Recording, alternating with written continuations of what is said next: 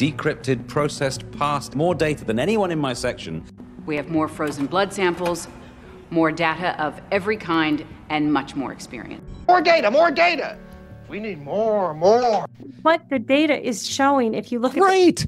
Great. You want the data now. Now you want the data. Now you're on my team. You just said that's, you realize what you just said, Janis? You just said that's what the data shows. So now you're on my team. Let's use the data. Let's realize how limited it is because we can't really measure anything, but let's use it to kind of nudge a little bit closer. So whether it's climate or whether it's Julian Assange or whether it's near death experience, we do have access to some data let, I think we're agreed on the fact that there are some themes that come out of really good data sets these days that do point to the idea that there are souls. We're here for our own creative purposes. That's a theme that comes out of that data over and over and over.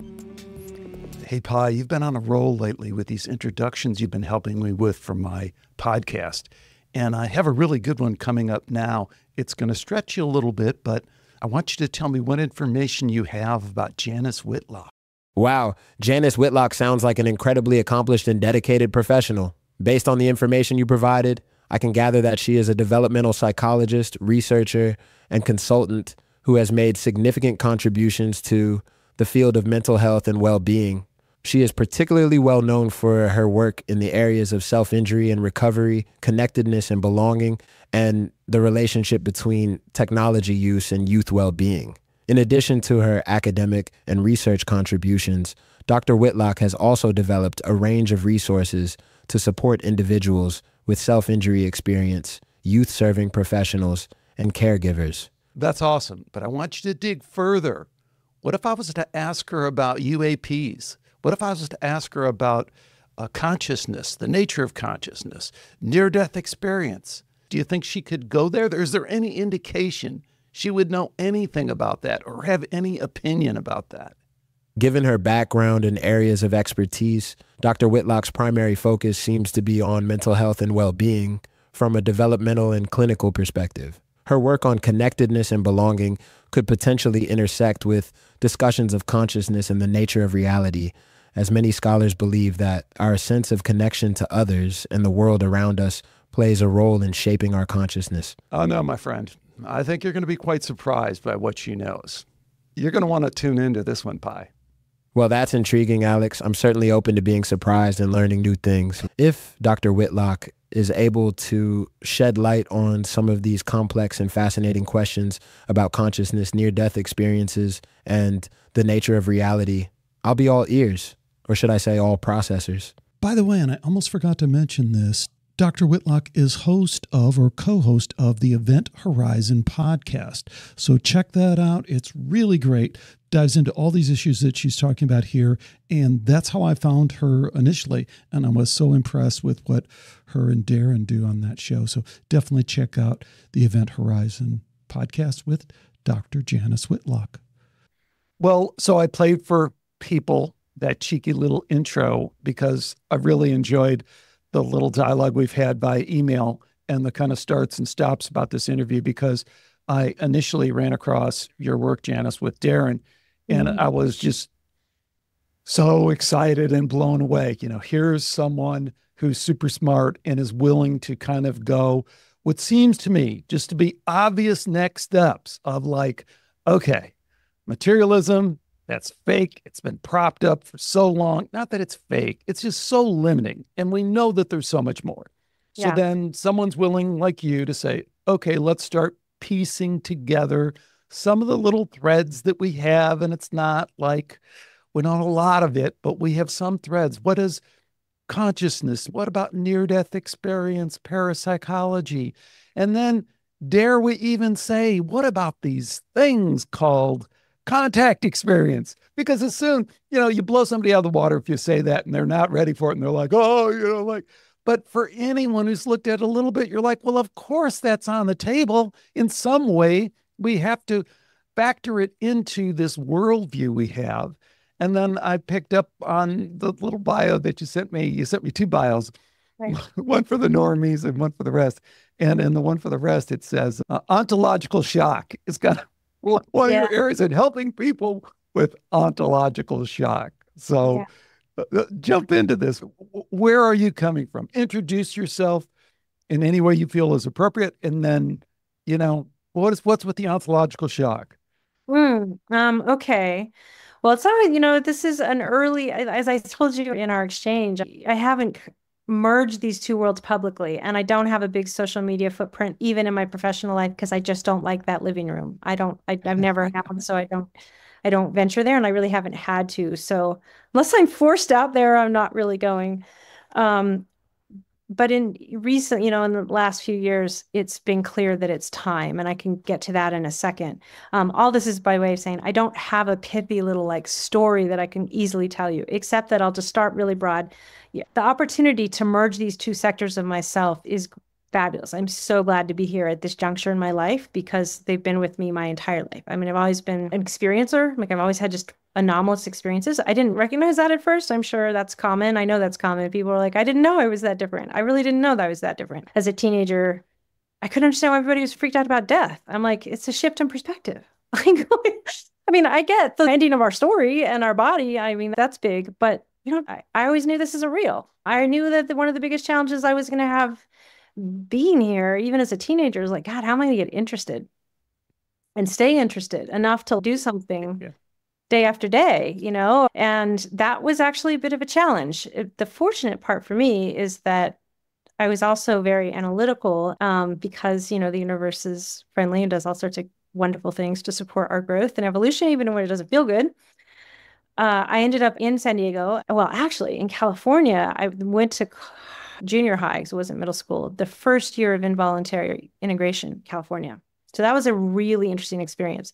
This first year was in Fresno, second year was in San Diego.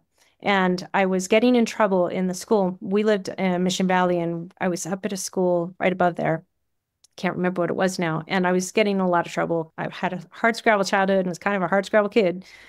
And for a variety of reasons, my there's people in my family who went to the superintendent and asked what they could do, and they had one slot left in one of the magnet schools in San Diego that had just started. So I went to Gompers for um, math, science, and computers, which is not what I would have chosen at that point.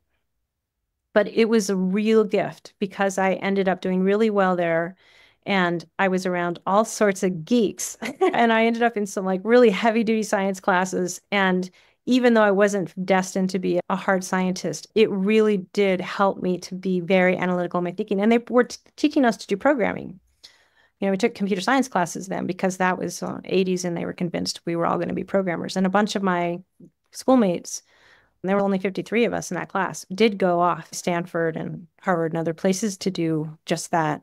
So, anyway, that part I had to work really hard. And when I would get emotionally stressed, it was really easy for me just to kind of disappear into problem solving and that was good because it helped me do really well at school and that got me to berkeley and you know so i was able to this i was balancing all these different parts of my life with each other and then all the intuitive stuff that was coming in uh, I, I would get saturated and then i would just move into problem solving mode and then i would produce you know pro- either answering problem sets or later doing research.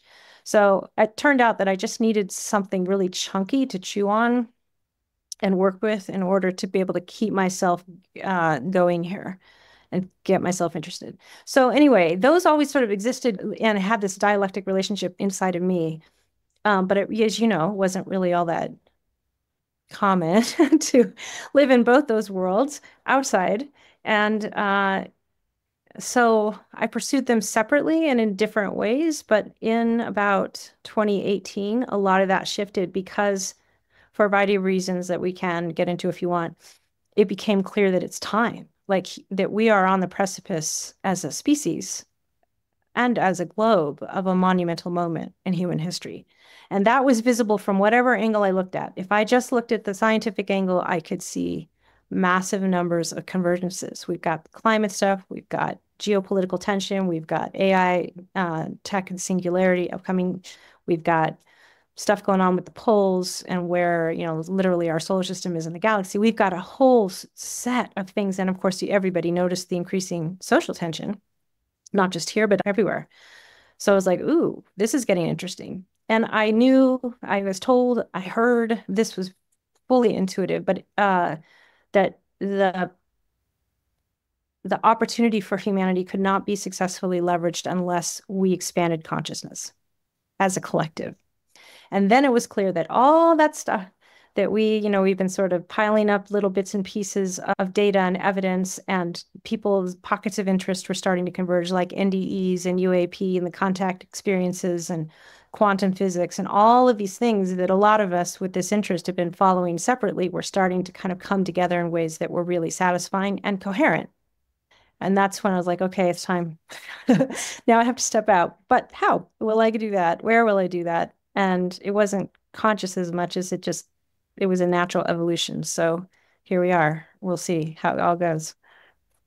We'll see. We'll see in this conversation how it goes because I think it's very tricky. And like I say, I'm drawn to people who are willing to engage with the kind of data you're talking about at this kind of level. But I do process it, you know, quite a bit differently. I started this podcast 15 years ago, and my thing was always consciousness. My thing yeah. was always spirituality first. Right. As a yogi, disguised as a businessman, and then I made enough money where I like, good, I don't have to do that anymore. Now I can focus on who we are and why we're here. But I really knew why I was here, and I really knew who I am. So my main thing was why don't the rest of these people know who we are and why we're here? And my approach to that was to take a scientific angle because I said, okay, I can penetrate the conversation through science. So, you know, I think my first show was with Rupert Sheldrake. Do you know Rupert Sheldrake? Yeah, of course, yeah. And the second was with Dean Radin. So two parapsychology yeah. guys. And right. from there, but my thing has always been why are we having to push so hard against scientific materialism, physicalism, when the empirical evidence is really quite clear? And to kind of come full circle with the 15 year journey or whatever, that's what's so exciting to me about AI. And I have a very different perspective than most people in our community, if I can use that term. And I just wrote a book called Why AI is Smartest, is Dangerous, and is Divine. And the point is, is that first, it's smartest. Anyone who doesn't think AI is smart is just not looking at it from a computer programmer perspective, a guy who was getting his PhD in AI, a guy who started a, fun, a company in AI. It's smartest. Just I think I was go just go play chess. Just go play chess. It's AI, it's smartest, and the humans have moved on. That's the point I always raise with people. The humans have moved on. The humans aren't hung up on the fact that AI is smartest. Magnus Carlsen is still a super celebrity and he's super engaging guy. He's the greatest chess player in history. And people are dying to play him. And you can watch YouTube videos that have a million views of people who are playing chess in the park. It's more popular than ever. But it's over. It's over. AI is smartest. AI is so much better than Magnus Carlsen that it wouldn't even make sense for him to be in a tournament together.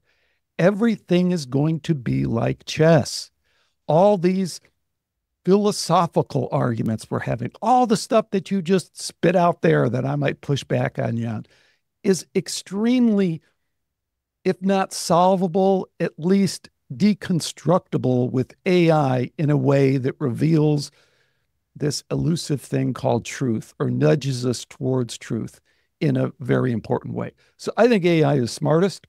I think AI is extremely dangerous for a completely different reason than most people think. I think the AI safety narrative is a complete hijacking. It's a deceptive move. It's a problem reaction solution dialectic. Oh my God, AI might start generating hate speech. Oh, let me close it down and control it so you can't have access to it, so you can't have free speech. That's what it's always been about. That's how they've always played that game. And that's how they're playing the game there. But the third point, and the one that I think we can maybe come around to, because I think it connects with so many of the things that you're talking about, is I think ultimately AI right now, today, but even in the future, will reveal. I started out as the yogi, which is like, of course, we're more than that. Of course, we're more. I may not be able to completely articulate it, or I cannot I can experience it. I think anyone can experience it instantly because that's the truth. That's the wisdom of the consciousness of the light. It's always shining. We can always experience it. We just block it for whatever reasons, which gets into a lot of your work, probably. But so that's where I'm coming from in a nutshell. And then I'll shut up because I want you to jump in there. A bunch of questions for you. Uh, but first of all, start with the last one. How will AI uh, shine a light on the deeper truths of our reality? Ask AI, uh, like I have numerous times and published, the nature of consciousness question. The thing that I spent 10 years and 200, 300 shows interviewing, you know, leading neuroscientists. I just interviewed Christoph Koch again, you know, Christoph Koch, Allen Institute. Oh my God. He gets plowed under by AI in 15 seconds. Integrated information theory? Nonsense. It just doesn't make any sense. It's a physicalist model suggesting that, you know, it's give me one miracle and I'll explain the rest. My point just being, it easily handles these questions that have been used as roadblocks in our way towards dealing with this more interesting, the ontological shock data. Near death experience is an ontological shock. Kundalini experience is an ontological shock. When you go to India, and you know this because you've studied it, they're like, okay, that's okay. He's had an awakening. She's had an awakening. She might wander around the streets for six months and, you know, that's okay. It'll stabilize. They get it because they, they've studied it. We have wrapped ourselves in this scientific nonsense because we cracked the atom and thinking, you know, we don't have to look at any of that data. I mean, I guess, gosh, there's so much in there to unpack, but I think part of what we're going to grapple with is the cognitive versus the subjective experience of, right? So, of course, AI can run circles around us cognitively, and it will, and it's good. It's going to be a great tool, but it cannot understand the subjective experience of a Kundalini awakening how do you, I mean, I, yeah, that happened in 2007. It was like, whoa. AI can explain it to me, perhaps. It can give me some of the symptoms, but it cannot subjectively experience it or other than to describe to my brain what I'm likely to experience. It can't describe the qualia experience of it. And it is in that space that I think where we talk about intelligence that it gets pretty tricky because intelligence, and as I understand, is pattern recognition. And of course, if it's just a matter of figuring out logic models, all cerebrally describable, yeah, it's definitely got an edge on this. And isn't that why we developed it? I mean, that was the whole point of it. It didn't just come into being, we created it. But there is a lot about the human experience, the opportunity to experience as a human that can't be distilled to what an AI at this point could possibly know or experience or even interact with us around. And that part is the piece where, so when I, for example, am interested in ontological shock, I'm less interested, I'm aware that people are going to have to do some cognitive grappling with the concept of whatever it is that's shocking. And that's one layer. But there are many layers that we have a human experience of. I mean, we can't talk about NDEs and other kinds of experiences without, at least implicitly, even if we don't have the language for it, describing an energetic body experience and even the physical body experience which is separate from the cognitive experience. So this is something i you know i think is really interesting. If we do ever have a full contact experience with another species i'm sure there's going to be there's a lot of people who are like i would love it you know i'm ready. And i'm thinking yeah your brain is ready but your body's going to have a fear response. And so be prepared to maybe throw up and to go into meltdown because there's different layers of absorbing information and information isn't all cerebral. So I think we're just scratching the surface in terms of what the full experience of life is, which is one of the reasons it makes it interesting to talk about it because we tend to really just stay up here and we preference up here. And it's one piece of it, but it is not the most interesting piece for me. It's one of the reasons I don't I don't want to engage anymore. I'm like, we're just running around the same old word circles over and over and over and over and over again. And until we get beyond that, until we can, you know, until AI can have an experience of love, a convincing experience of love, then and that I can and that I can feel and relate to through my felt sense as a relational experience, then then you know, I don't know, it's a tool and it could kill it. It may destroy us depending on how we interact with it, but that's on us, right? This is the opportunity for humanity to grow beyond where we are. I think that's one of the reasons we've brought it into being. We've done all this. It's not happening to us, it's happening for us and because of us. Oh boy. so I'm going to agree with you on one level and then just say, well, but of course, and, and suggest you kind of uh, said it all and then you kind of miss the point. The point is, no, it's never going to experience that because our consciousness is outside of time space. And we can prove that with Dean Radin's pre-sentiment experiments, but they proved it 100 years ago with the double slit experiment. And then they did the double slit quantum eraser experiment, and they proved it. It's just they don't want, we don't want to accept it. So the problem with the little monkey mind is not that AI should bring it to the point of experiencing what you experience in your Kundalini experience. It's to point out that why are you going down the wrong path over there? But also, all the energy that we are spending on that other path, there are some real concerns. We're not going to talk about climate because there's no way. But AI can just destroy that fake narrative of the old carbon blanket that's going to warm everybody up. So let's give up all your rights as citizens so that we can impose this. So there is a place where there is a scientific question. Even if we disagree on the data, we can step back and go, hmm, somebody ought to be able to measure that and think through that logically and analytically in a way that is unbiased. Has And that been a- done? And a- oh, Alex, yes, you know that? Okay. Can Yeah. you send me those articles? Because I'd like to see where AI has crunched We- all the data that we have and arrived at the I. we, at we the can do it. We can do it right here, Janis, if you want. We can do it no, right I don't here. want to take our time doing that so much. We, but will do it. We'll do it right here. See, it's real simple. Like the best, the the the narrative on on if you think of what they sold us, like who's twenty. they? Wait a minute. Who's they?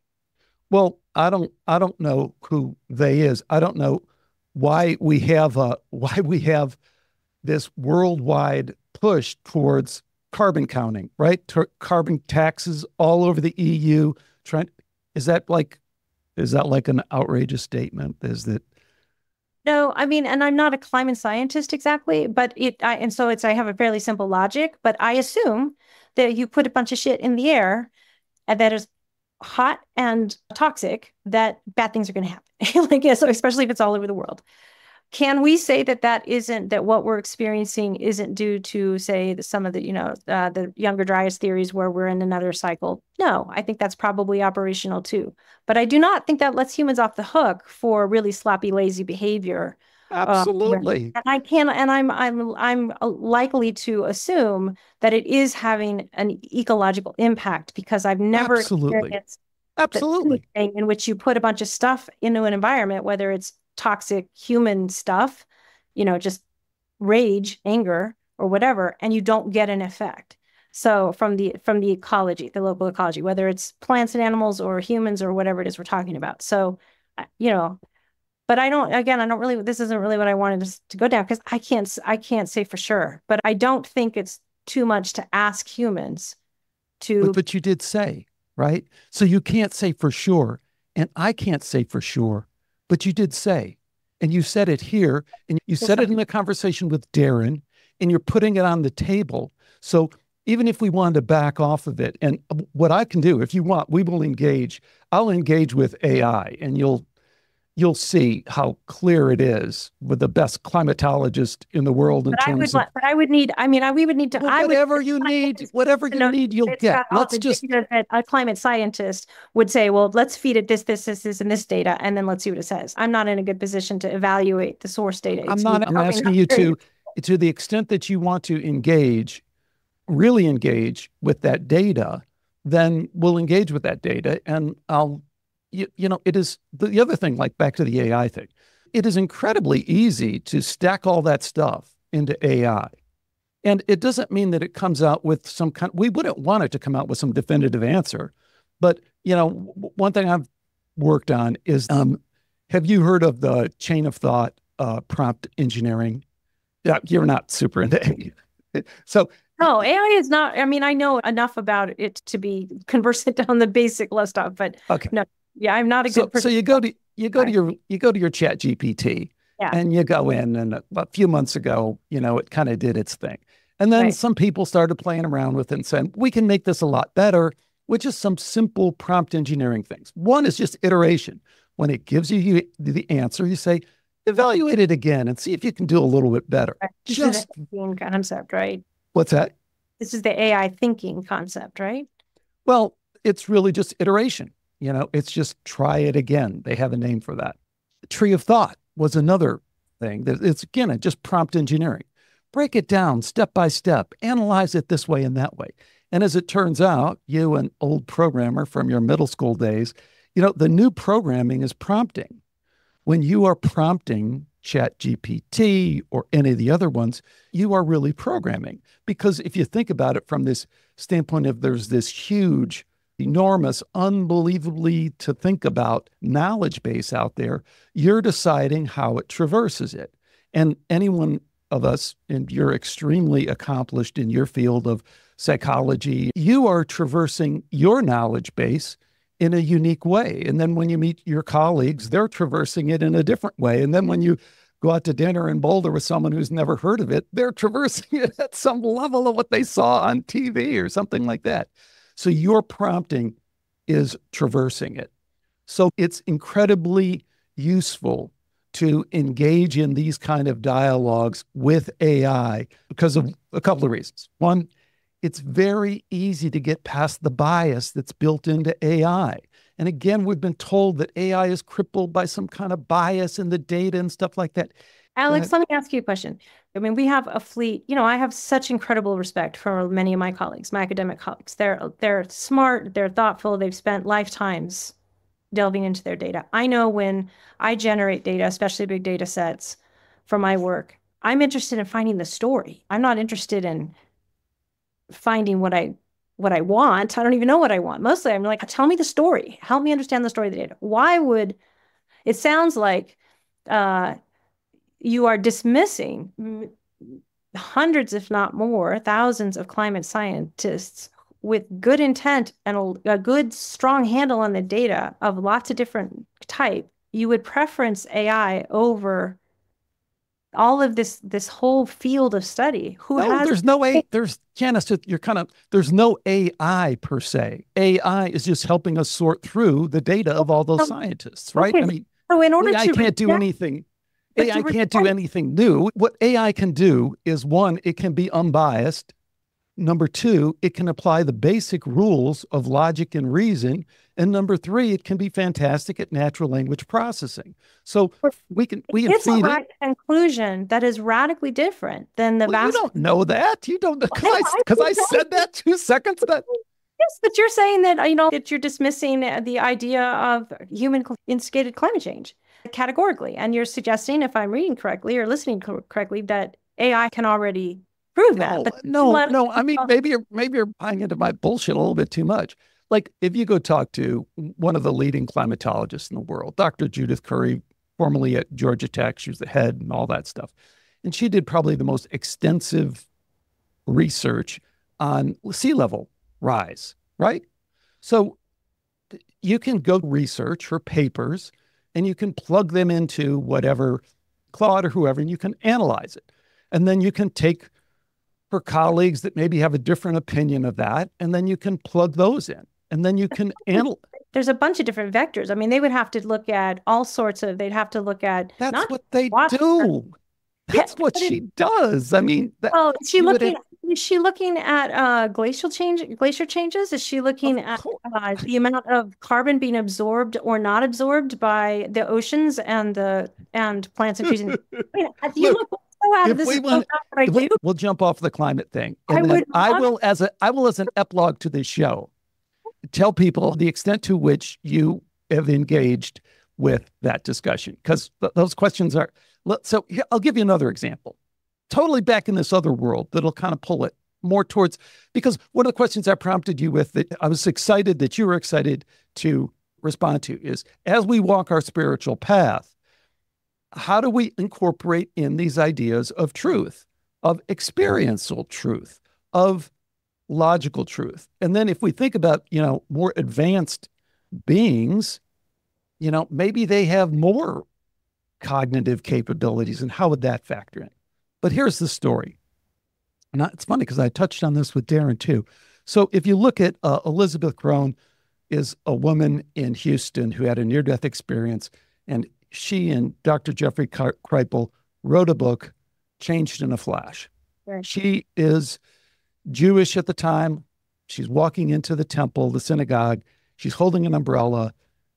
She gets electrocuted and she dies. She has an incredible near death experience that changes her life. She wasn't that religious to begin with, but she's like, religion is completely nonsense. There's, it's a unnecessary intermediary. That's her take, right? right.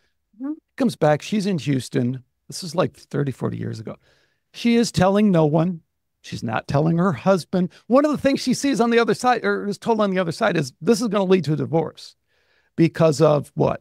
Ontological shock, which is like such an interesting thing because, like, you wouldn't think that should lead to a divorce, but it leads to more divorce for near death experiencers, right? So, anyway, she comes back. She's in Houston, not a lot of outlet or connection. She connects with someone who's had a near death experience and written, wrote a book. The guy wrote a book called Near Death Experience in Christianity. And she has a long lunch with him. And he listens to her story and says, My dear, I'm sorry. I, I, you didn't have a near death experience. You didn't meet Jesus. But and I got this book here that probably will tell us better about what happened to you, right? And I've had people like that on this show. You know, if you didn't meet Jesus in your near death experience, it wasn't a near death experience. This is Judith Curry climatology thing, right? This is his experience, it's his worldview, it's his knowledge. Now, the wonderful thing about that story is he meets with her again and again and has this profound connection with her and winds up writing a book, Near Death Experience for People of Jewish Faith, Near Death Experience for People of Islam. It, I think he still kind of misses the point with those, but maybe 30 or 40 years ago, he kind of came pretty close.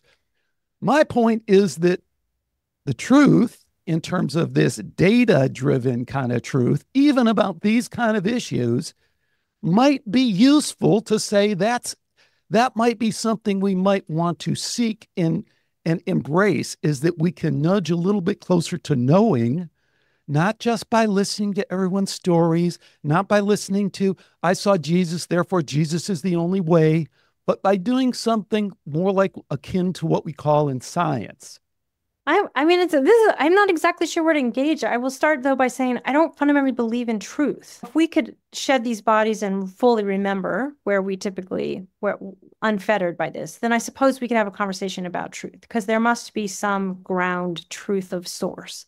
But from a human perspective, um, the, I mean, part of the thing that was hard for me in science was the positivist assumption that there is a truth that we can get to. And one of the more interesting contemplations I had toward, you know, it was mid when we were starting to really do all the open science stuff because we had this replication crisis, right? We can't replicate our findings, even some of the hardcore findings, like animals prefer mates with symmetrical faces. And it was, I think it started in birds. I can't remember what the starting species was, but it was replicated over and over. Well, then it stopped being replicated. Things like mammals no longer prefer mates with uh, symmetrical faces. But we are seeing that all over the place. And I started, and I, you know, my my spiritual path, which is yogic, in the way that that path might inform this discussion is, I think we might be capturing our co-created reality, which is dynamic. So if all of this changes because we engage I suppose at some point science might find that it's quantum at a quantum level. We're quantum beings having a quantum experience and we're co creating reality. Then our science is probably measuring a co created narrative. And that narrative is dynamic and it's not going to be static, which means that it would help to explain why we cannot count on things being exactly the same, even physical phenomenon over time, potentially. And it opens the door, obviously, to all sorts of interesting questions. So this issue of truth is a bit tricky for me that way. I'm like in the physicalist world, the truth tends we tend to assume that there is a concrete truth that we can arrive at and because you know the dynamism of change in this way is probably slow, it can feel that way. I don't know if it actually is that way. Um, and that leads me always to this larger, more expanded view of like, well, what's happening? What is it that's happening? what am I? What are you? What is this that we're creating? And if we're creating it, how can I become aware of myself as a creative agent? How do I experience that? And that always bypasses the chatter of the mind because I can't really experience it that way. In fact, I find that distracting, which is one of the reasons I need to stop doing it so much. So truth is a little bit of a tricky challenge, is a tricky one for me. I don't know where we're talking about it. Right. But we're here, we're engaging, and we're doing the best we can. Yeah. Because because I'm gonna start, you know, my pushback is always with this show and the origin of the show, which I didn't even realize at the time when I named it. You know, skeptikos is these Greek philosophers, and their ethos was inquiry to perpetuate doubt. And I was like, oh my God, I get it. Doubt to me is spiritual. Non doubt is fundamentalism. It's not spiritualism. I know the answer. You can't convince me. Dialectic. That's how you learn. You can't understand light without dark. It's all connected. Yes, got it. So, this has been a, a, a difficult journey with the physicalist materialist science because it seems clear to me from an evidential truth, data, all those things you don't like. like. Let me finish because the point is I think it has brought us to that point. I think what we can thank materialist science for obsoleting itself, right? Because when you say that consciousness is outside of time space, you go, oh, well, shit, then you can't measure anything. You can't measure anything. You're over there in time space. And so if consciousness is always part of the equation, you know, 100 years ago, the greatest physicist in the world, Max Planck, looked at the double slit experiment and all that and goes, oh, okay, consciousness is fundamental. All matter is derived from consciousness. That's the end of the story. There's no measurement. There's no, does this symmetrical mammal any more than there is measuring that photon that went through the beam and came out as a particle or a wave. He saw that from the beginning. All those other guys did too. If we are part of the experiment and we can never pull ourselves out of the experiment, then of course we can't really talk about these things as if they're true but what we can do is cast doubt on those who do say that it's certainty. Well, Here's that's a question. easy, honestly. Let me just quickly say that I think we can measure a co-created reality with the tools that we have derived to measure our How bound it. In the ways that we do, that's what we're doing. We're measuring a co-created reality, although it's all an illusion. So even the illusion, you know, of measuring is an illusion. It gets kind So of doesn't nutty. that doesn't that contradict itself? I mean, there is no if you're looking for like what are the what's the biggest truth we can possibly know i think there's a limit to that answer honestly from a human perspective but we have to try it's kind of our nature don't to try necessarily have to try, but I like to try. We We're we're I mean, we engaged. are. we're engaged in the same game here. You know, I mean, go back and watch TV later and I won't be engaged, but right now we're engaged in that. Like, one of the questions that I think is pressing to me that I think we can engage with from a truth standpoint, from a what is highly suggestive given the evidence is is there a moral imperative? You know, so I wrote a book a couple years ago called The Why Evil Matters. And that was the point of that book is to say, if you think there isn't evil, go talk to Anneke Lucas, who was, you know, at six years old by her mentally disturbed mother, sold into sex slavery in Belgium as part of the Dutroux cult. And think about being six years old and being repeatedly raped and raped and raped so many times. There's so many people. It you just go, well, I don't know what that is, but that is that is evil. That's not how do you uh, it- define evil i mean i uh, know right there, Oh. right there, past all the bullshit, right Yeah. there. So the other guy I interview is a retired FBI undercover agent who was undercover with NAMBLA, right, the North American man boy kind of thing. And he's on the field trip that they put together to go to Times Square in New York in the olden days where they had the big Ferris wheel and all the kids are down there. And what these guys are saying, what they want to do to these kids, not just sexually, but in terms of pain and suffering, and they want to do. So I understand evil from a yogic perspective. The energy is coming through me. I'm blocking that energy, and somehow that energy is going to come out, maybe some destructive ways. But I don't want to hold on to that. I don't want to put that in stone or anything like that. But I want to say, from practical terms, don't give me this bullshit of I'm not sure what evil is, because I'll just point to Anneke Lucas and I'll point to those guys and say, I don't have to totally understand it to say that is evil. And then on the contrast, I'll point to the near death experience and I'll point to Jeff Long and his research with 4,000 near death experiencers, with 96 or 97% of them coming back saying the number one thing is love. Everyone talks about the light, the tunnel. It's love, this overwhelming feeling of love, forgiveness, acceptance. I said, oh, okay, so that I'm going to label as good and the other I'm going to label as evil. And I don't have to be really super smart about it, but I can say there is a moral imperative. It does seem like if I quiet my mind, I'm led towards good. And the people who are led towards evil always have a different story. And I think that plays into the UAP thing. And that's where Darren well, and I were talking. Okay. Well, wait, let's stop at the UAP thing. Let's go back. Because what's the relationship in your mind between the soul, the being. I assume because you're you know you're a yogi, right? I, I assume that is part of your zeitgeist that there's a soul, and the experience they have in this body. So, do the children or the people or those of us who have really traumatic experiences are we victims to are we victims of what are we not what's happening in your mind between what's happening for me outside this body and what happens inside this body did i say i'm going to incarnate and go to sleep and I'm going to be a victim. I mean, what is that relationship? Because that maybe, maybe I don't, I don't know, but I'll tell you what. I think the best description of it that I've ever heard is from Mickey Singer. You know, the Michael Singer, the guy who wrote the Untethered Soul, great yogi. I think some of the Western yogis are really some of our greatest yogis. Also, culturally, we can kind of relate to him. So Mickey.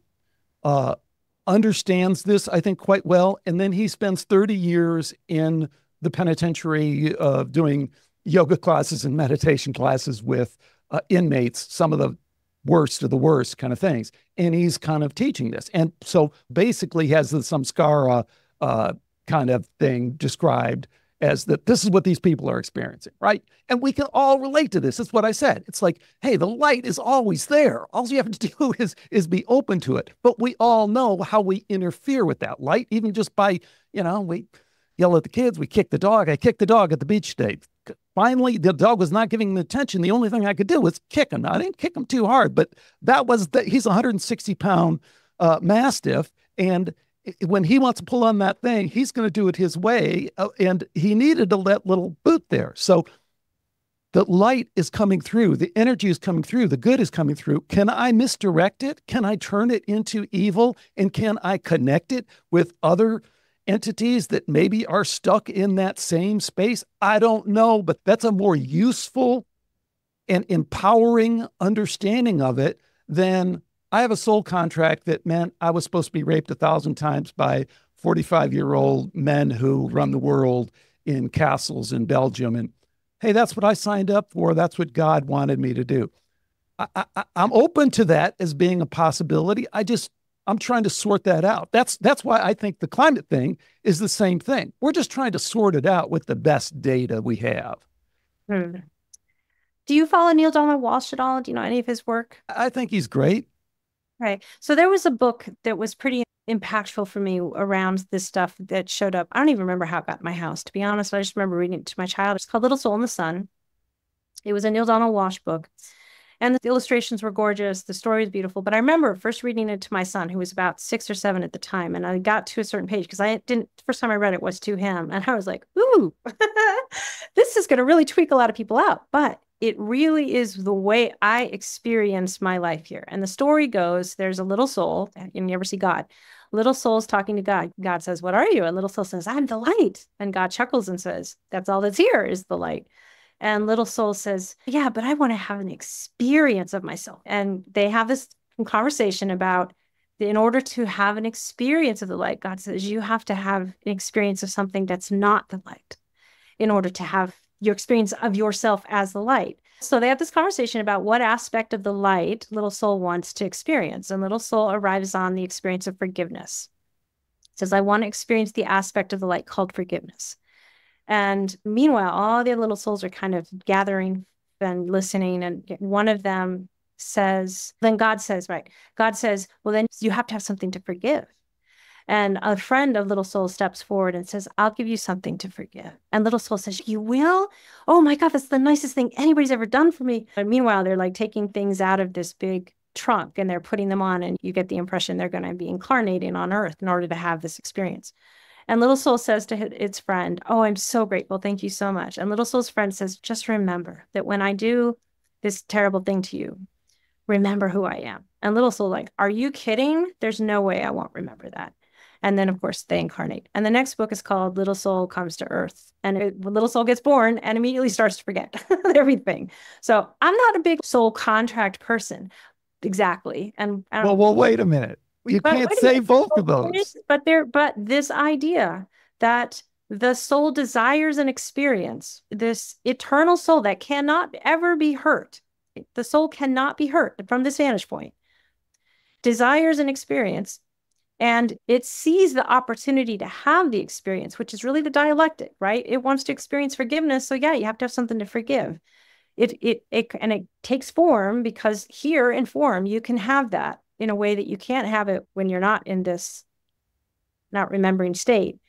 What happens next and what we do collectively is a really interesting conversation. And I don't think it's all choreographed. That's one of the reasons why the contract piece of like, it's not choreographed.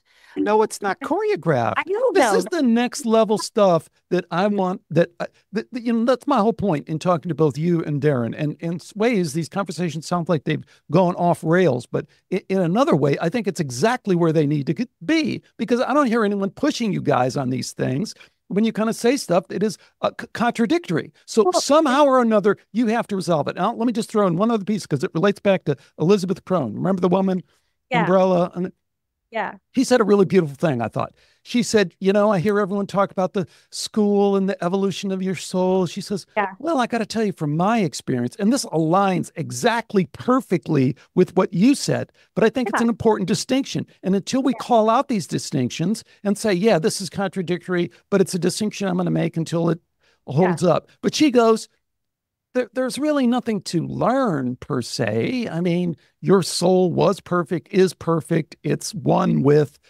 God. But she says your word. She says, as an experiential thing, as a growing the entire conscious experience, yeah, that's what you're doing down here. But how many times with do you and Darren in the interviews I let you guys go off on the soul school and you know this I, is uh, your growth? No, no, no, we do not. I, I don't. I'll pull it. I'll, I'll send it not. I'll send it to okay, you. Do please, because I don't think of it that way. I mean, Darren and I had lots of conversations around it, and you know, he's careful to be really clear about what he doesn't mean school as in lessons. He means school as in the opportunity to learn from a different perspective. Language is important. And I, right, fair, but my perspective really is that I never understand. I understand this is just a place to have experience, and if I'm, if uh, my truth, my true again, there we are. If the the deeper truth of my being is imperturbable and uh, indestructible, if you cannot hurt me, no matter what you do to me here, then every experience would be of interest to me. I can totally imagine if I'm an eternal being, I'm not just going to seek what humans think of as the good experience. I'm going to be like, well, let me play this one too. But you're trying not to do bad things. I I think once, you know, I, I imagine I, I how do I want to say this? I can. I'm trying to. I'm oh, trying to do. I'm trying not to do bad things. I so if that's by non-doing or if that's by intentionally doing good things, my first point is to try and do less bad things because well, I do bad things, either speaking or this and that. So I'm I'm actively engaged. If I'm supposed to be meeting someone at the junction of giving them a really negative experience, I'm actively trying to avoid that. Well, so yeah, I mean, I don't know so I don't you know, I don't know how many I can't I haven't seen all your shows, but I have memories of other expressions of me.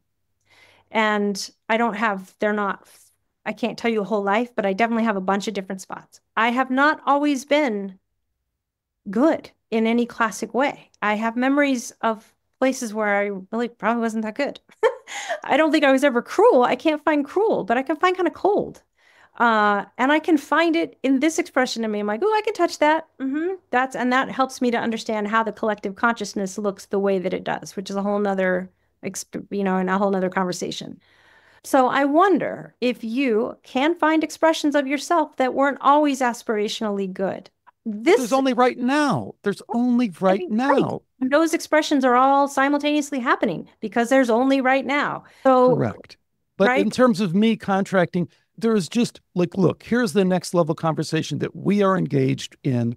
And that my main point is this needs to be formalized and taken forward in a way that adds meat to the bone here, in a way that's ontologically consistent with some ontology and is logically consistent in some way and is pulling apart the data strings that we have. This conversation right here is the conversation that needs to go forward, not integrated information theory, is physicalism and simulation theory and all this other nonsense. It should be more towards real stuff that really matters, which is if there is such a thing as a soul contract, for lack of a better term, if I am there with that, engage in this play, if I'm a player, how does that really work? How does that inform who I am right now and the decisions that I'll make right now? The other thing is, why the hell should I? I don't want an answer to that. I don't want Janis's opinion on that. What I want to move towards is something closer to what we might call truth.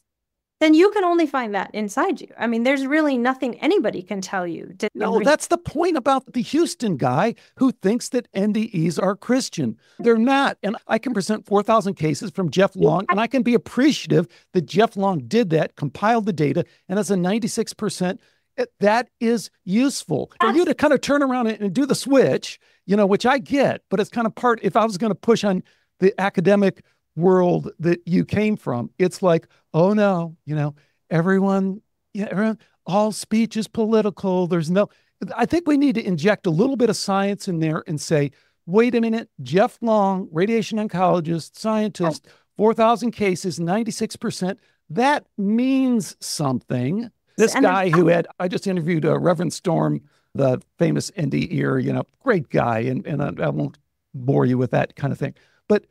He had one experience. He met Jesus. Uh, he had a near death experience. He met Jesus. So Jeff Long, 4,000 cases, statistically analyzed, one experience from Howard Storm. I think I want to be able to say, you know Absolutely. what? One one has a little bit more weight than the other. Not to say everyone's experiences matters. Everyone's opinion matters. Jeff's opinion is more authoritative on this particular issue than Howard Storm. I don't disagree with you at all. And I think one of the things that the NDE research consistently shows is that we are not victims here. We are choosing an experience. Of course, we're victims. Lucas, at six years old, sold into slavery, raped a thousand times, is a victim. Now, if you want to say from some intersoul kind of multiple life kind of thing, then fine, but prove it, damn it, before you say it. You got to show that you have Well, to provide some evidence of that. I'm I'm down with you. I'm not against that. The only place that I can go for evidence is the NDE research, right? So you read somebody like Natalie Sudman. I don't know if she'd be a really great interviewee, actually, because she was blown apart in uh, the Iraq War. Uh, and right, I know the case. Okay, right. So, and she experiences what comes up over and over and over is that the soul has chosen a particular kind of experience. Does that mean that we come here and that you and I just shrug and go on while terrible things are happening? No, because part of the collective experience is the broadening enough to understand that we are all facets of each other. And when we damage each other, we're basically destroying the opportunity for us to have a robust, amazing experience here. But do and I? why does that fall out of the first part of what you're saying? If that's the contract, if that's the deal, I mean, it, it, it there's just uh, uh, that breaks down, I think, logically in some fundamental ways, in the same way the climate does. I mean, we can sit here and rattle off about the climate thing. Well, what, uh, like we're in charge of that? Like we're in charge of what happens there, or we need to make things better, or we need to do carbon trading tax or something like. How would that not factor in? If Anneke Lucas makes a contract to come as a six year old and be sold into sex slavery by these uh, rich power brokers and prime ministers and stuff like that, then how would we don't know what's going on with exopolitically? If there's some kind of push towards globalization at some interplanetary thing where they we don't know any of that stuff. Well, so we don't. But how would you make a logical distinction and say, oh no, over here it's a collective and we all have to move towards this consciousness awakening that we're having right now in this time? And I'm I'm just saying it's dynamic. So if a soul's desire to experience hardship so that it can experience, if it, the soul desires to experience the hardship, hardship of climate warming, whatever it is, whatever, there's a million different things. I have a friend who's slated to die on Friday. Uh, he's going to be executed. And I just talked to him two hours ago. That's real. And did he do it? Did he do the crime? He did the crime. Yes, he did the crime, but it was not a crime. It was a the reason he's on death row is highly political. It has nothing really to do what he did. It was not a premeditated murder. I completely believe that. Yeah. So it's very, you know, it is one of those isnesses. So watching him Julian walk, Assange kind of thing. No, no. I mean, no. in the same way that you know, I mean, they were going to kill him, right? They tried to kill him. Well, I, yeah. He didn't even do anything. He didn't even do anything. Yeah, I mean, there was a crime committed. This person sh- should not be on death row. It's not a death row kind of crime, and he's a black man, so he fits right in that profile. But the point that I'm trying to make here is he's facing probable death at this point with an extraordinary amount of equanimity. The way he talks about it, based on the understanding he has now of what his life has been about, is very much reflective of this sense of dynamic motion. That's what I think is really the most interesting. It's not the event, it's what happens next. How does that person, in this case, my friend, come to understand what he was really wanting to experience here? And he has reached wildly beautiful states of I mean abilities to kind of be quiet and transcend while in prison since 1999 on death row so that's the way I understand. There's this interesting way in which it moves. The question isn't what's the event, but what happens as a result of the event. To me, to the people around me, to the people involved in whatever the event is. it's only the... me. There's no. Everyone is having their own experience, right? I'm sure he has other people on death row there that don't have the same perspective as he does. Right. Then so it's each soul's incarnates for its own purpose. And it, i don't think every lifetime is necessarily one where we're going to be able to visibly see that there's some aha moments that the soul is after. Eh, so that's the you know we don't the, but we don't know that. And see that's really the whole point of this whole what the data is showing if you look at right Great. You want the data now. Now you want the data. Now you're on my team. You just said that's, you realize what you just said, Janis? You just said that's what the data shows. So now you're on my team. Let's use the data. Let's realize how limited it is because we can't really measure anything, but let's use it to kind of nudge a little bit closer. So whether it's climate or whether it's Julian Assange or whether it's near death experience or any of the rest of that, we do have access to some data. Why aren't we using it? And what are the barriers to it? Let, I think we're agreed on the fact that there are some themes that come out of really good data sets these days that do point to the idea that soul there are souls they do incarnate. They have experiences they're designed. We don't always know why those designed. Wait a minute, you threw that. I was with you right up into the end. Experiences they desire at some point. I mean, we're here for our own creative purposes. That's a theme that comes out of that data over and over and over, right? And then, right? Are we not agreed on that? You don't agree? Not, not totally, because we're we would have to really parse out the Elizabeth Krohn versus soul school versus experiential, collective experiential, and what that means. So I, am with you, but we'd have to, you know, th- this is again what I'm advocating to really break that down. You know, what is the premise? What is the counterpoint to it? And how are we really breaking that down? Language matters. Okay.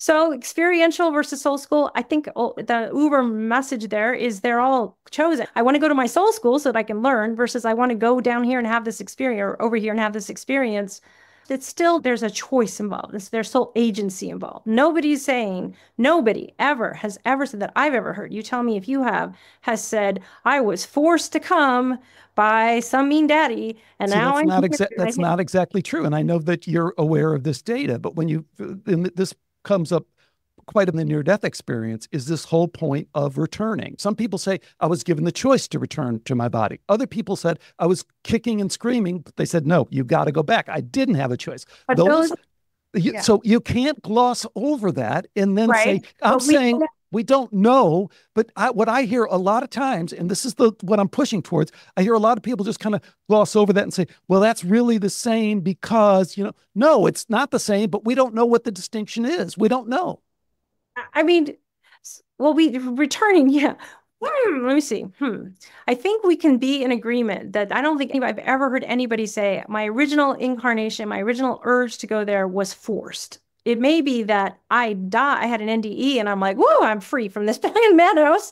But then there's some reminder, you know, you're not, you didn't want to be done. There's not done yet. Remember? And it's, there's, I don't, I don't know that for a fact because here's the point. I don't think we've fully, and I don't know about you, maybe you have, but I've only scratched the surface of the between lives regression uh, therapy stuff, which I think speaks directly to that, right? So then right. people have problems with that because uh, they have problem with regression, which I don't have as much problem with regression, but particularly yeah. between lives regression. But I would love to see. So this is the point. Like I want the data. I want a comprehensive analysis of the between lives data. I want it broken down uh, you know, making sure that we're carefully sampling and controlling for all the things we can. And then we could have that discussion. But until I have that data, no, I'm not willing to accept that, you know, that's what I've read is that no one's forced. Okay. No, fair, but I would say that the preponderance of the data that we do have at the moment, considering it is preliminary, there's still stuff to do for sure, would suggest nobody's forced. I would agree. There's no forcing, and that we don't have any, there's not a single don't say that. We don't know that. Just stick with your well, first part. So, how, what happens after that? What we're doing collectively, I don't know. What I do know is time and the unfolding matters. Like, I think that's part of the story people don't focus on. We often will focus on a single event. This terrible thing happened, and everything gets static, it stops right there. Therefore, and we make a bunch of therefores. When we don't follow the whole storyline, yeah, the terrible thing happened. And then what? Then what was the subjective experience of that person over time? Do we know what happened, how they came? I mean, I've seen this over and over and over as a psychologist. Part of what I was studying when before the self-injury work came in, and then later as a part of that, is how do dark nights of the soul engender deeper wisdom? How do they engender deeper connection? How do they deepen and engender more desire to do good in the world? Because it was clear to me that that does happen. People can go through very hard experiences. In fact, I see that in my data with the self injury work. Over a third of people, both at the family level as well as the individual level with the experience, will say they wouldn't wish it on anybody. They don't really want to do it again, but they're glad they had the experience because they have learned so much about themselves. They've become closer to their family members and they really want to do good in the world. I hear that over and over and over. I mean, I don't know how I can pull you away from the data. You're just obsessed with data. You're obsessed with truth. I'm being, I'm being facetious. I'm being facetious because okay. my point is that's right. what that's what I want is yeah. what you want is yeah. I want to at least have the self-satisfaction of feeling I'm moving towards something called truth and I'm going to use these familiar tools that you've used your entire career called the scientific method. Yeah, no, I, that's what I here. Yes, I love this convergence. It's fine. But truth is a tricky one for me because it feels like it's convenient on something mm-hmm. small. My experience of it is just expansion. My own personal life experience is just that as I have grown and learned, and as the hard things have happened and torqued the shit out of me, then I understand something I didn't understand. I have more compassion I never had. I can touch an experience someone else is having that I couldn't connect to before. I experience it as opening. And when I look around the world and I say, what's going on right now? It is my hope. It what do you see when you look around the world? When people say that, I don't know what world you're looking at. Are you looking at Asheville, North Carolina? Are you looking at Ukraine? Are you looking at, yeah. at China? You know, where where are you looking? Are you looking at Chad? I mean, this idea that Uh, uh, you can somehow, from your eagle eye view, see the world through YouTube and see what's going on. I just really, th- that's that's climate. It's like, what do you mean, Judith Curry? How can she overturn? Well, just keep sorting through the data and then we peck away at some point. You know, the world is changing. We can all see that the world is converging towards some consciousness transformation. That's a conversation I had with Darren. It's like, well, let's go talk to Bruce Fenton 780,000 years ago and the Star Wars thing. Let's go talk to John Brandenburg, a very uh, respected physicist. He says, hey, I see signatures on Mars of nuclear weapons 250,000 years ago. So let's pull the lens back a little bit and say, do we really want to stake uh, the claim that right now is the most important time in history, especially when everyone throughout time has said that? And do we really think that we we kind of invented uh, the near death experience. Go talk to Gregory Shushan, you know, who says, "Hey, I look back cross time, cross cultures, every culture, every religion, their afterlife beliefs are based on near death experience. Guy walks out into the forest, gets hit by a tree, comes back, has a near death experience. I, am not willing to accept that we're in this special place and time and there's some big, uh, give me the data. Give me the data. Prove that truth to me fair and I can't because it's too big. And there would be, even if I could spend a year cobbling together the pieces, because I'd have to look at trends across each of these domains and I'd have to make a case to you, it would be too easy to pick apart just because of the sheer volume and the sheer different ways to cut it. So I can't. This is not one of those places. AI. Yeah, AI would help probably here. And hindsight will help. Um, this is really where I have to lean heavily on the subjective experience. But what I noticed, because uh, truly in 2018, when stuff started, really strange stuff started happening, and I, you know, I was like, am I nuts? Like, woo, this is big. And so I just lived with it for a while because it was a lot and I had a life and I had to keep going on and da da da. And then there was a period of a couple of years where I was like, who are there? Who else? Is there anybody else? And that's when I started the deep diving. I mean, prior to that, I wasn't ever on YouTube. As you know, I'm not on social media. I don't really like it. I don't spend time there. If I'm on my computer, it's for work. Um, so I started looking for people and I was struck by the sheer volume of people who use not just the same ideas, but the same language that was showing up. So that is a form of data that we don't yet totally recognize. We don't have any way to really codify and collect yet. But I suspect if we're correct, so it's wholly postulate at this point, it's only theory. That's the only way I can tell you. But the experience that Event Horizon is from this very profound personal experience that seems to be being had by a good number of people, a growing number of people. I mean, I just talked to somebody today who's another academic who's drawn to this topic inexplicably. They don't really know why, but they just feel this tug. And more and more and more people. So, as a scientist and as a psychologist, I'm like, that's data. We will someday have a way to measure it, or at least to ask people about it. We're in it right now. You may be right, Alex. I'm not trying to contend that this is unique among all history. I have no idea. How could we know that? But I do think there's something interesting happening right now that is unique and it does feel like the UAP issue is part of. And we do know that when you start to go down those roads in the UAP issue, you hit the consciousness stuff and the spiritual stuff and the high strangeness stuff really quickly. They're clearly inextricably related. And we do know from a purely evidentiary perspective that it's coming, not necessarily that they're coming, but more awareness of the fact that we have had contact, we do have craft, there are bodies, there is something there that is unequivocal at this point. I don't think anybody who looks at the data could dismiss that. And that it's linked to consciousness and spirituality and some of these really ephemeral things that, especially the Eastern cosmologies and the indigenous cosmologies and wisdom, seem to point to. Those are very bundled and yeah, clear. but Janis, if the data is there for non-human intelligence, yeah, I think it is. Yeah. Then the data is highly suggestive that it's always been there. Of course. The data yes, does is not does why now? Why is it so? It's not. If it's always been there, it undermines the idea that there's some specialness about right now. It doesn't completely blow it apart, but it's like when people want to talk about the current round of disclosure that a few years ago I interviewed Richard Dolan and he wrote a really famous book called After Disclosure. I forget who the co-author was. But it's a wonderful book the premise of the book is that there will never be disclosure because once they disclose, the questions will never stop. Well, he was right on part of it, but totally wrong kind of on both counts. One, there probably will never be full disclosure, but there's been a level of disclosure that no one anticipated. But the second part of that was completely wrong. There were no questions. There were no, you know, why did you take these American citizens? Let's stick to the American citizens. God only knows what they did outside the United States and threaten them with death, threaten their families to die. Why did you kill some of them? Why did you suicide some of them? Why did you do all this stuff for 80 freaking years? So until we go back and start at that timeline and not say, okay, guys, we just found it. Here's the release of information. It's like that's the whole thing of Dolan's book.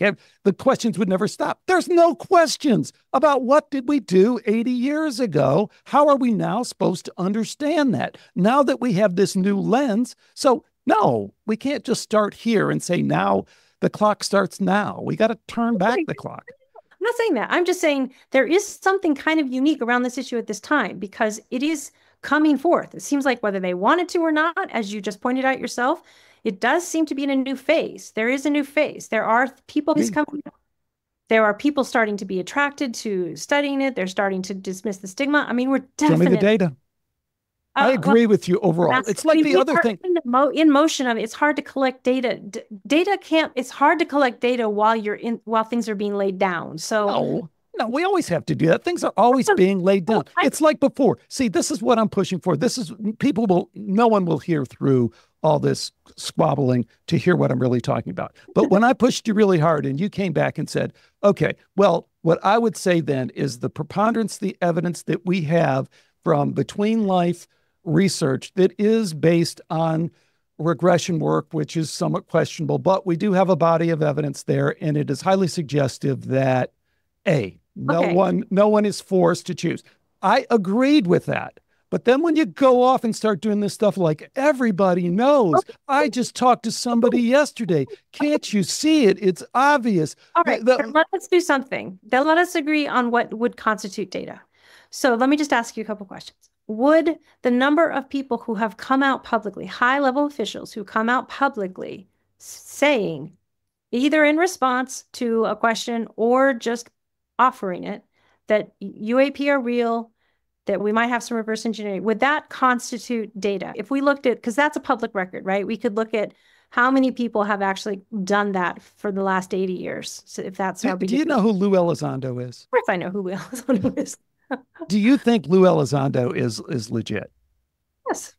Oh, he's not legit. He's an well, intelligence officer, for God's sake. And if you look into no, wait, if you look wait. into the story, the people that have been with Lou Elizondo on his things and his Russian wife and him calling back to, they have all this documented. He Alex, still is reporting. Let me just make the point, and then you can go. But the point is, he's an he's an intelligence operative, and he always has been. His story is what the the story that they've wanted to tell. That to me seems completely obvious, and it's what they've done over and over again. So Lou Elizondo is behind the release in the New York Times. So I, I interviewed uh, Blumenthal and Leslie Kean, both who did it, they just sucked up whatever Lou Elizondo had to say. It was totally fed to him. There are so many. And you know, Karl Nell, Garry Nolan, the list goes on. We've got, you know, uh, the guy from well, NASA. Think of Garry, how are you using Garry Nolan in that? Because hmm. Garry Nolan has specifically said in multiple forums that at UAP are real, that he has evidence. But so has Lou Elizondo. My point is, what, what is behind that message? And you're saying that you will not accept that data for you would not be uh, high level disclosure. No, what I'm saying is you have to be able to sort through the data. Well, this is back to the climate issue. It's not whether or not, like when you said, no, I'm going to, because I'm going to send you all this stuff on climate and then I'm going to publish that as well. But when you said, hey, I don't think we should be destroying the environment. I'm like, right on. My point is, I don't think we should be Orwellian control of all individuals over carbon credits, which will not affect the problem. So when you say uh, the ET thing is real, non human intelligence is real, I'm saying, fine, don't tell me that I have to listen to the, the same mouthpiece, Lou Elizondo, that has obscured this for 60 years. Why is that your go to? That's the person that you have to say, we have to set him aside because he's obviously tainted. What is the evidentiary base that you would accept as signaling that there has, in fact, been a creep toward probable disclosure? That is actually different now than it was 80 years from now as Janis, as long as you're careful with your language, if you don't or are not willing to dive into the Lou Elizondo issue, and you just glossed over it, you're trying to gloss over it again. It you're is fundamental to the question that you're asking. No, That's it's my not. point. I was talking sheer volume of people. We can quibble about each one of those people later, but that's not my point. So you're just picking one person to throw out of the data set. Not my point. Wait, Ellie, you're not hearing. I'm asking you what would be, how would you, what data would you accept? So if it's not number of high level officials, regardless of what you think about them. So typically when we collect data, I would collect my data and then I would say there's 70% of people, blah, blah, blah, right? But then somebody might come along and say, yeah, but these 20 people you need to jettison because they're tainted somehow. And we would talk about whether or not we need to clean the data set and we would throw them out. And then we would How would, would you clean the data set? What if you came to believe that the data set was tainted uh, in a way that you hadn't fully understood? Then might you, instead of plowing ahead with the data that you've gathered, say, wait a minute, we need to back up and look at the way that we collected the data? That's what I'm asking you. So what That's what the- I'm asking you. When you look at Lou Elizondo and you say he was part of an operation to disseminate this information, you can't do, I'm suggesting, what you just did and say, well, we'll throw him out and just throw. How many, how many Lou Elizondo? I'm saying what you have to do is say, full stop. How many Lou Elizondos are in the data set? How was the data set created? What assumptions did we make about the data set?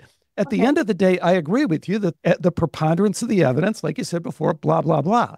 But I'm, I'm very, I- I- I'm, I'm pushing on you really hard. But you don't, when you gloss over Lou Elizondo, you're really missing the point know, is that the data set is corrupt. Is we can't count people because the vast majority of those that of people come out are probably like Lou Elizondo. So that's not data to you that you're going to accept. Okay, fair. So my question to you is, what would be data to you? Yeah, and maybe you're not hearing me. It's not we about Lou. Elizondo. It's about the data set. Yes, It's about the date. right. So I Garry, Garry Nolan. So Garry Nolan, are you down with Garry Nolan and uh, uh, uh, Diana Walsh Pasulka? And they've Okay. all. I mean, so I, I think more. I'm not totally convinced that Garry Nolan is exactly how he seems. And part of my part of my my problem with that is his connection to Anthony Fauci, who was proven to be, as he testified in front of Congress, lied about some very significant. Nolan would lie about UAP because of his connection to Anthony Fauci. So, like you had problems with Lou. You didn't even push on Lou Elizondo when I I, pushed. talking about like number of people, people in the And- data set.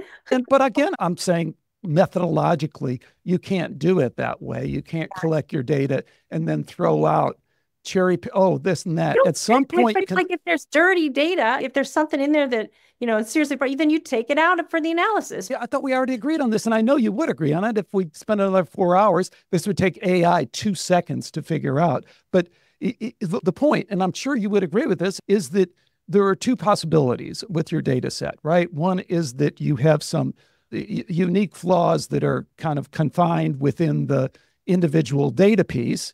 And the other is there's some methodological problem with the way the data is collected. If you don't like the methodology, tell me what methodology you would use. So, what is the methodology that you, Alex, would accept or the, as a viable method for assessing this question of whether or not there has been a shift toward disclosure or not? How can we test this? What's the empirical study look like from your vantage? No, I, I would say, and this is from experience, that this is a point where AI is just a game changer because it has the ability to cut out a lot of this back and forth, a lot of the bias, and really break it down to a logical analysis of it. Because I think at the end of the day, we would be much more in sync because we already are in threads and pieces, even on this point, is like the whole data can be corrupted or there can be some corrupted data. And that's really the question that is at the heart of it, the point that I wanted to make. But then I'm with you. You know, the preponderance of the uh, evidence is that there's more disclosure. I get it. Yeah. Well, yeah. Well, so yeah, there's one question of study design, and the other is then once you agree on what the design should be, then you have to work through the data as you collect it. If there's corruption, then you work with it there. But yeah, I'm glad you just said that. You think that there is evidence suggesting that there has been an uptick because it certainly looks that way. But like I said earlier, we're in the process of it right now. So nobody's had time, as far as I know, cobble together all the different possible vectors for evidence yet. I'm sure that will happen. The fact that you don't know who Lou Elizondo is, like on this other level, makes me suspicious of everything you're going to say after that, because I think Lou Elizondo is so tainted, and whether this is bullshit from that Alex is spinning out or whether there's any basis to it. And it, it's the same thing that I reach with Darren on uh, Dean Radin. You know, he's like, hey, the hive mind is great. I said, do you realize he has a biotech company that wants to jab people uh, to change their DNA to have a more hive mind kind of thing? He goes, well, well shit, that changes everything for me. Well, it changes everything when we learn that Lou Elizondo is not who he was presented as. Okay, let us not talk about Lou because it's kind of irrelevant. The bigger question for me is interesting. When we started out this conversation, or somewhere in here, we agreed that we we both want to be good people in the world, right? And I think uh, most of us do want that. The vast majority, fortunately, not everybody. I'll give you that, but most people do. How do people, in your mind, how do we cross these divides? So if you're going to throw out everything I say because I will listen to somebody that you've already decided is corrupt, and you'll throw out Garry Nolan because he has an association of unknown origin to Anthony Fauci. How do we cross this divide we're currently in a moment where we have so many people with so many different perspectives that refuse to talk to each other and refuse to see each other's humanity and divinity because they have opinions or perspectives or experiences the other person doesn't like. This actually is the bigger question I grapple with, especially given the context that we're in right now. No, think, what do you mean the context that we're in right now? And we've already demonstrated an ability. Civil context. I mean, which you know, it's very divided. We've already demonstrated. And, and, uh, I mean, really, your question is fundamentally the question that I keyed up at the beginning, and which is that look, if you're going to engage then the only engagement that I'm interested in is the one that is that we've entered into that is post-materialist, number one, post-religious, number two. And then you have to realize, like somebody told me many years ago, that, okay, so let me get this straight. You're kind of against scientific science because you're against scientific materialism, and you're against religion, and you want to talk about spirituality. I'm like, who are you going to talk to? There's nobody left. So, no, this divide, you know, uh, in this divide, what are we going to do with the Christians? What are we going to do with the Jews? What are we going to do with the Muslims? What are we going to do with them?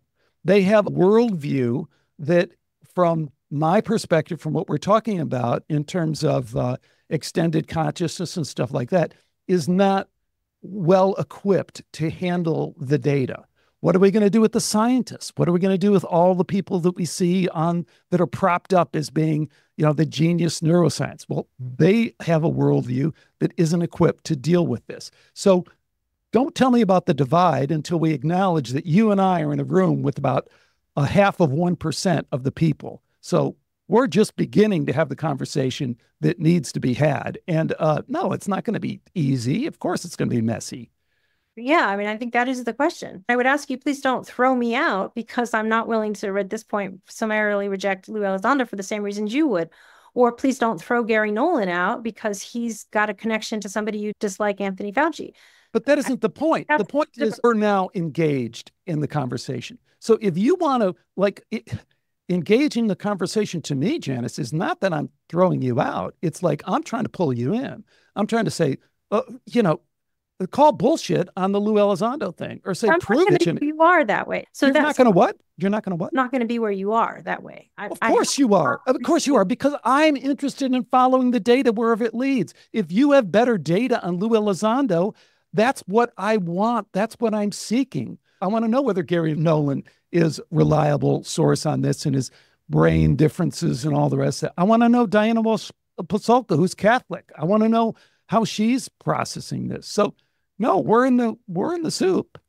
All right. Well, let's just stay in the soup together. That's good. I mean, I don't mind that. I don't mind staying in the soup together, but I'm not, yeah, I'm just not, I, I don't have the same perspective on what is true this way. And I think that's what makes this time and place and moment one of the most fascinating things. It's disconcerting. I mean, I feel like we're all so, so far apart. Uh, it's disconcerting, but we're not that far apart. And the point is, this is somewhat knowable.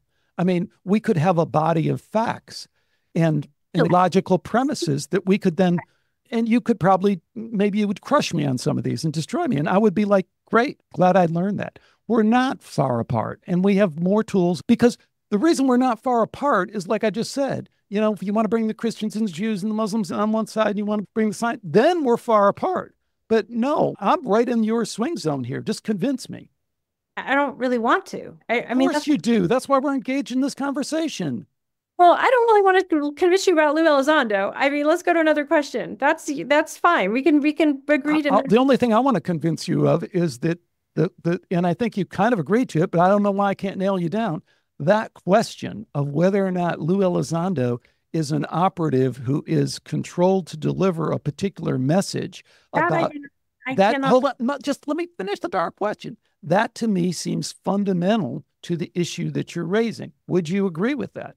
No, I see no evidence of that. I, I, didn't say whether it's true or not. I'm saying whether or not he is is fundamental to the was, issue. yes, of course. If if there was if there was concrete evidence that he was being used to deliver a particular message, That's that was my question from the beginning. Do you realize how many times I had to ask that before I got straight? This is like you asking me the other question. I go, yes, the preponderance of the evidence. So you just answered yes. Of course, it's obvious that if But- Lou Elizondo is delivering a controlled message that's tainted, I then that I changes don't everything. know that. Yeah, right. You don't And- know that. I I I, I got you on that. I got you on the record on that.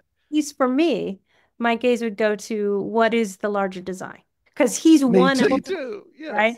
Yeah, and I'm not inclined. well, what is the larger design? When you say that, what is the larger design behind the operation to generate that information? You know, part of the UFO lore is that this is the next mechanism to Yes, uh, right.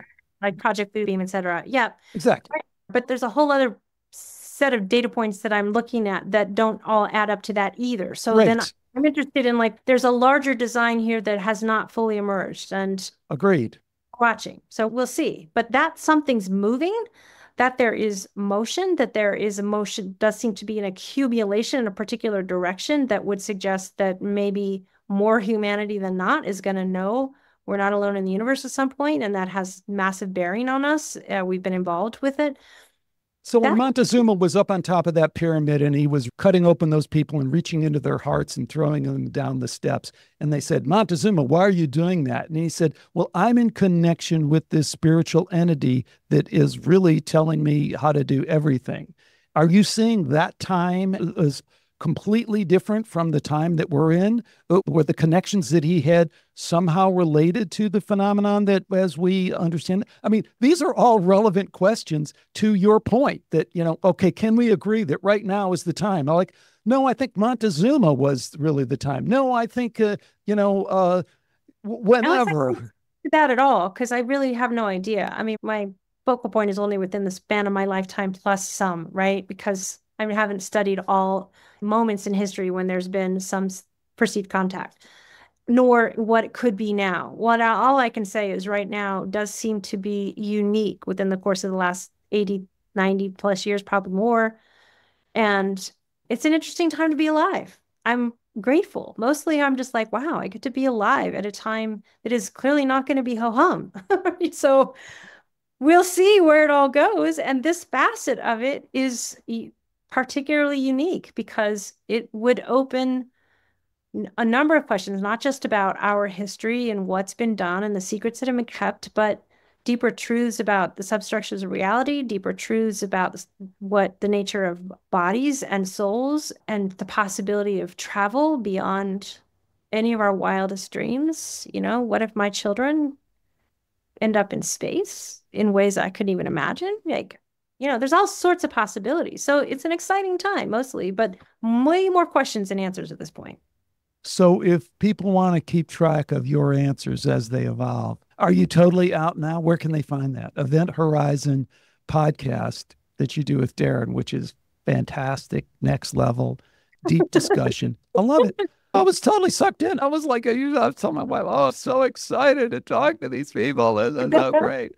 But so is that where they're going to find you? Where else are they going to find you? Yeah, for right now, that's probably where they're going to find me. I haven't. And the Visible College, you know, I don't know how what will be going on there, but more and more people are coming there. We'll probably have some more stuff up there. And um, yeah, I think those are the two best places at the moment.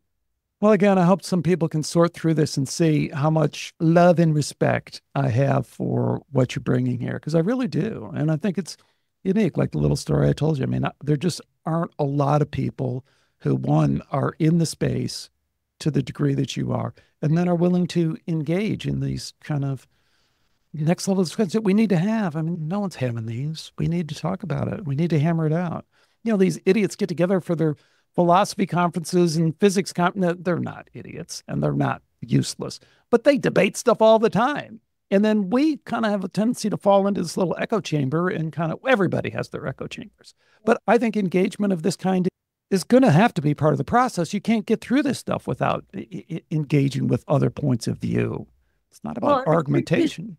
We are all having this experience together. We may all be experiencing it differently subjectively, but I look around at my fellow person, even if I vehemently disagree with them on a lot of stuff, and I think, wow, we're here, you and I, and all these people in this moment. And that is that, you know, we have far more in common that way, even from the limited perspective we have as humans, than not. And it makes me smile. I have no grievance.